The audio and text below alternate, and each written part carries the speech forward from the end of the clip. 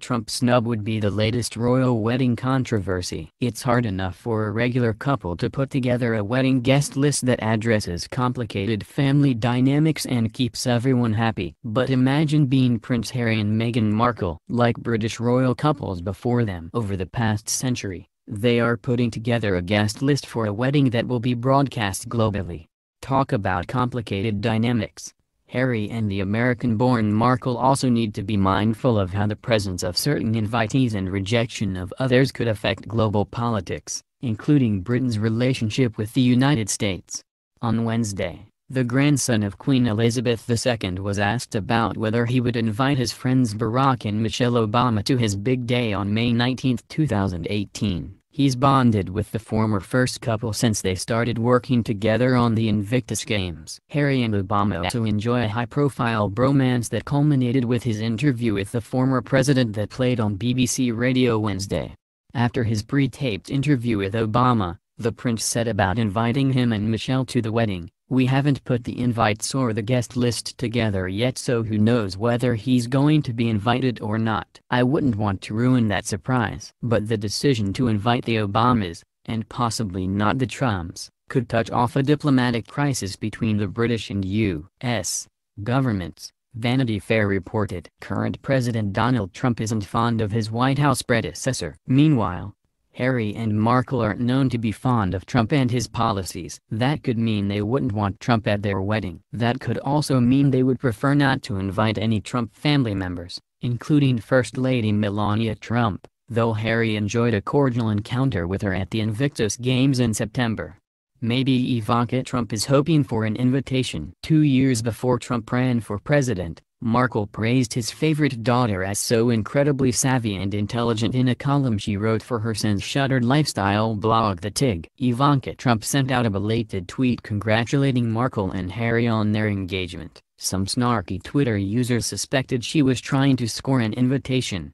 It's likely that any admiration Markle had for Ivanka Trump diminished after she campaigned for her father and joined his White House. In a 2016 interview, Markle pointedly called Trump divisive and misogynistic. Harry's evasion on the question of whether the Obamas would be on his wedding guest list is probably of little consolation to British government officials who are reportedly urging Harry to not invite them. According to The Sun, relations with Trump's White House are strained. Trump has put off visiting the UK, reportedly out of concerns that his presence in London could spark massive protests. Now with the royal wedding looming, there are further concerns that Prime Minister Theresa May would have trouble engaging with Trump diplomatically if he suffered another national snub by being kept off the guest list in favor of the Obamas, a senior government official told The Sun.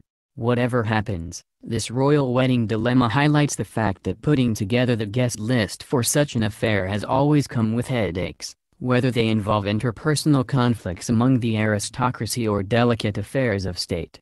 Here are noteworthy guest-related controversies from royal weddings past. When Princess Elizabeth II wed Prince Philip at Westminster Abbey in November 1947, their guest list included various princes, dukes and earls from Britain and the rest of Europe.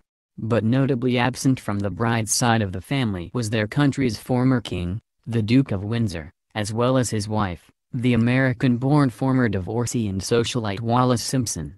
The Duke's omission shouldn't have been be surprising. Elizabeth II and her family had little fondness for the Duke, the former kind Edward VIII who abdicated the throne in 1937 so he could marry Simpson. Elizabeth's mother, Queen Elizabeth, pretty much hated Simpson. The Queen Mother called Simpson that woman and regarded her as a social climbing interloper whose marriage to Edward forced her husband to take over as King George VI, the stress of which may have led to his early death. There also were concerns, going back to the late 1930s, that Edward VIII harbored Nazi sympathies before and during World War II. These concerns deepened after Edward abdicated and he and Wallis traveled to Germany to meet with Adolf Hitler and other Nazi leaders. Odd creature, the late Queen Mother wrote about her brother-in-law in 1939. The Independent reported, he is exactly like Hitler in thinking that anybody who doesn't agree with him is automatically wrong. President Ronald Reagan was invited to the July 29, 1981 wedding of Prince Charles and the future Diana, Princess of Wales, but he opted to stay in Washington, D.C. and sent his wife Nancy Reagan to represent the United States. The British press gave Nancy Reagan a hard time for what they described as her regal behavior, the Washington Post reported. The restrictions imposed on her behalf were more regal than anything attempted by Buckingham Palace in recent memory, the left-leaning Guardian newspaper said. There also was a flap over Mrs. Reagan's decision to not bow to the Queen. But she really put people's backs up when she arrived at Prince Charles' polo match in a chauffeured limousine, replete with traveling entourage, the Post reported. Observers couldn't help noticing the Queen driving up later at the wheel of her station wagon, the Post said. Princess Anne followed in a Range Rover. Unlike Prince Harry, his older brother William, the second in line to the British throne, wasn't friendly with Barack and Michelle Obama when he got married. Perhaps that's one reason that Queen Elizabeth II left the Obamas off the guest list for William's wedding to Kate Middleton in April 2011, though she invited other heads of state, the Daily Mail said. But the Obamas could have been left off because of security concerns. The Mail said, the Obamas also were expected to visit London for a state visit at another date. William and Kate would become friendly with the Obamas later in his presidency, as when the first couple paid a visit to William and Kate at Kensington Palace in 2016, and they memorably met Prince George. The really notable non-invitee to William and Kate's wedding was Sarah Ferguson, the ex-wife of William's uncle Prince Andrew. Royal journalist Mark Saunders, writing in a column for CNN, called this snub as callous as the treatment shown to Mary Queen of Scots, whom Queen Elizabeth I had executed.